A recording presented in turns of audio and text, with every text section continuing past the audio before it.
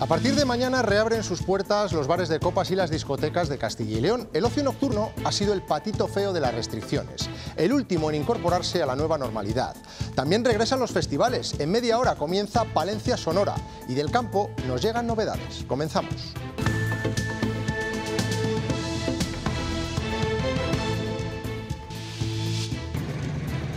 Comienza la cosecha de cereal en Castilla y León. Son las primeras máquinas que han salido al campo, en este caso en la provincia de Ávila, en Madrigal de las Altas Torres. La recogida del año pasado fue histórica. La estimación para este 2021 es un 20% peor. Buenas tardes. La otra noticia del día la encontramos en la reapertura del ocio nocturno, un nuevo paso en la desescalada que habilita un sector que lleva cerrado desde agosto.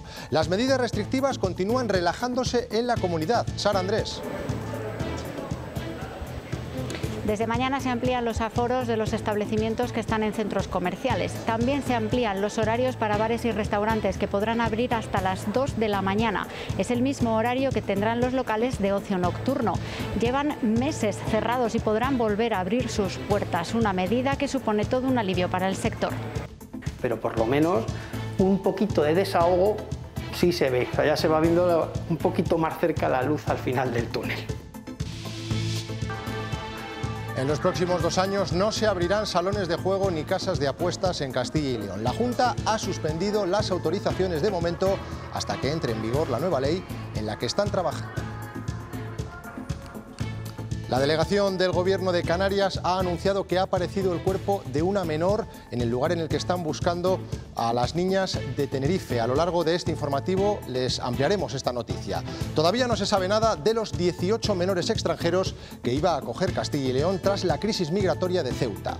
Cuando cumplen la mayoría de edad, si no tienen trabajo, estos chicos dejan de estar tutelados y se convierten en irregulares. El Gobierno trabaja en un cambio legislativo. Conoceremos el caso de Jamala, que ha cumplido su sueño en Castilla y León tras una travesía muy complicada.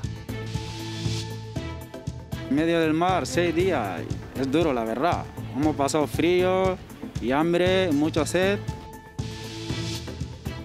Desembarco masivo de la energía fotovoltaica en la provincia de León. Se espera la llegada de dos millones de paneles, una fuente de riqueza que cambiará el paisaje de las zonas agrícolas, lo que no comparten algunos vecinos.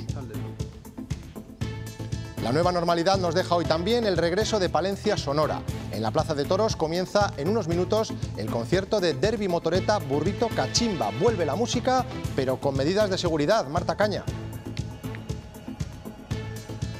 Así es, Antonio. Quedan escasos minutos para que arranque el primer concierto del Palencia Sonora. Como ven, la imagen es muy diferente a la de otras ediciones. Mascarillas, público sentado y distancias de seguridad, todo para cumplir, para cumplir con la normativa vigente. Esta tarde hemos superado los 30 grados en gran parte de la comunidad y esta noche será la más cálida de lo que llevamos de año. Mañana vuelven las tormentas por la tarde, pero el calor no se irá.